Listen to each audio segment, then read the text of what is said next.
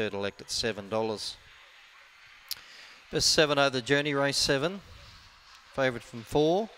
All set. Way they go. Now Senor Yogi fast out to take the lead. Pushing forward out wide. There was Flash Fever, then followed by Good Odds Rascal. Uh, next Magic Fever, then followed by Tails Up. Further back we had Fancy Kelly and last Harlem Shuffle. Onto the bend. Senor Yogi is the leader. Trying hard there was Good Odds Rascal. Senor Yogi in front. Senor Yogi a little bit too good for Good Odds Rascal. F Flash Fever, then Magic Fever. And then further back we had Fancy Kelly. Harlem Shuffle, one of the last with Tails Up. Senor Yogi, the winner, 21 and 42. 21 42, so another good gallop. Just outside that track record run of 21 39. Six second, good odds rascal. Five, flash fever. And one, magic fever.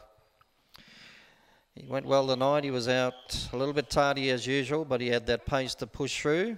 He had plenty of room there in the centre. He was able to get to the lead and uh, won well here tonight, scoring by two and a quarter lengths, one and three quarters between second and third. So four, six, five, and one, 21, 41. That early section of seven.